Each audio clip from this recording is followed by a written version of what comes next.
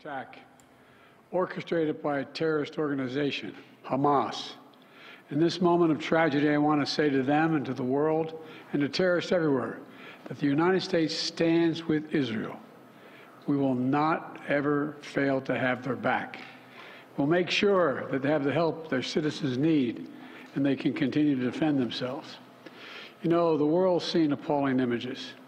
Thousands of rockets in the space of hours raining down on Israeli cities. When I got up this morning, and started this at 7:30, 8 o'clock. My calls: Hamas terrorists crossing in Israel, killing not only Israeli soldiers, but Israeli civilians in the street, in their homes. Innocent people murdered, wounded, entire families taken hostage by Hamas. Just days after Israel marked the holiest of days in the Jewish calendar. is unconscionable. You know, when I spoke with Prime Minister Netanyahu this morning, I told him the United States stands with the people of Israel in the face of these terrorist assaults. Israel has the right to defend itself and its people, full stop. There's never justification for terrorist attacks.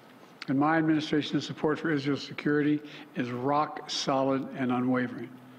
Let me say this as clearly as I can.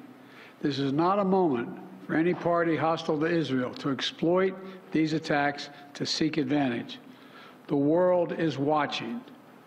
I've also been in contact with the King of Jordan, spoken with members of Congress, directed my national security team to engage with their Israeli counterparts, military to military, intelligence to intelligence, dipl diplomat to diplomat, to make sure Israel has what it needs. I've also directed my team to remain in constant contact with leaders throughout the region, including Egypt, Turkey, Qatar, Saudi Arabia, Jordan, Oman, the UAE, as well as our European partners and the Palestinian Authority. It's also a terrible tragedy on a human level. It's hurting innocent people. Seeing the lives that have been broken by this, the families torn apart, it's heartbreaking. And Jill and I are praying for those families who've been impacted by this violence. We grieve with those who've lost their loved ones, lost a piece of their soul. We have hope for swift recovery for many who have been wounded.